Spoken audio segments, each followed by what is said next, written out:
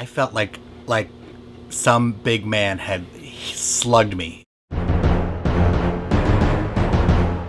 Eh, I, I flew right across. I flew right against the refrigerator, and I sat right down on the floor.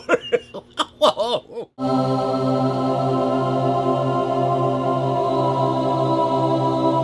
With a song in my heart. 57 years old and I can hit a merman No, That's not bad.